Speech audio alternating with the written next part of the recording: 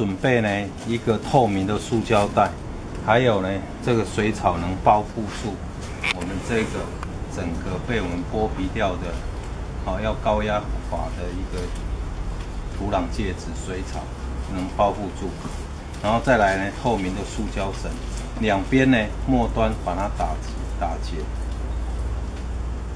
它才不会松散掉。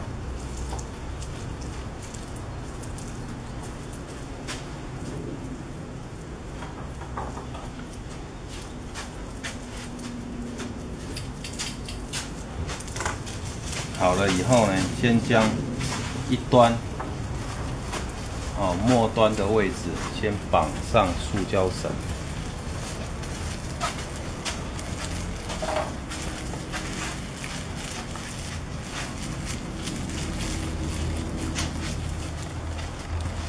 绑上塑胶绳。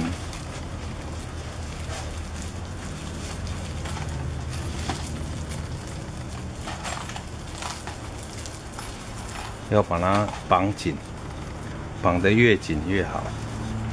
这样呢，等一下我们水草的水分才不会流失掉。然后再把我们的透明塑胶袋打开，打开了以后呢，再将水草包覆住。好，包覆住。然后呢，透明的塑胶袋。在整个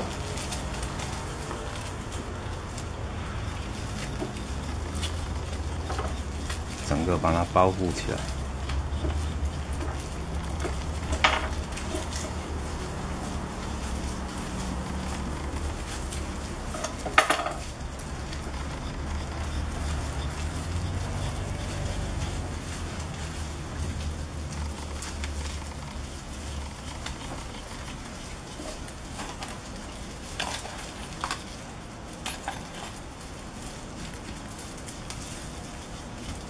包覆好了以后呢，末端再用另一个塑胶绳把它绑紧。好，刚刚跟各位讲的那个水草，最好前一天你就要泡，让它整个水草里面呢都能很紧实的吸收到水分，这样就算完成。等到三个月长出新根。它的新根是白色的根，然后呢，那个阶段不要急着就把它剪下来，种在盆器里面。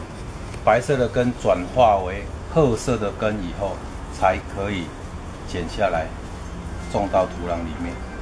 好，这样就算完成的一个作品。